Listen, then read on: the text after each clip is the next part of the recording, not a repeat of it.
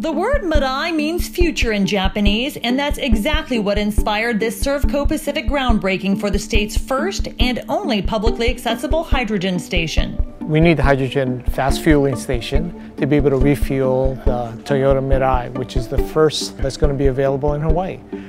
To celebrate the long road from planning to construction, Servco Chairman and CEO Mark Fukunaga and Governor David Ige spoke about the importance of hydrogen fuel cell technology in Hawaii. They then joined other Servco executives for a traditional Hawaiian blessing, during which they used o'o sticks to mark the site where construction will begin.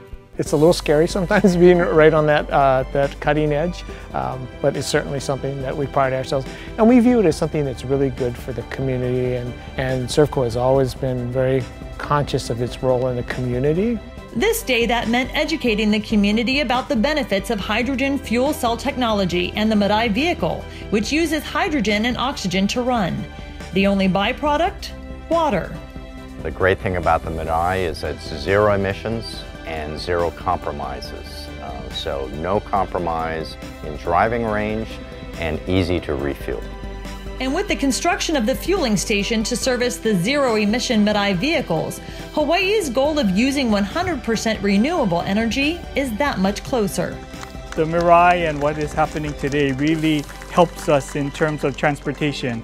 I really do see today's event as the beginning of uh, hydrogen fuel cell vehicles here in Hawaii. Uh, and if we truly are committed to a 100% clean energy future, then transportation is a big challenge. But thanks to Servco and the small but important fleet of Mirai vehicles soon to arrive in Hawaii, that challenge may soon be a little bit easier to manage.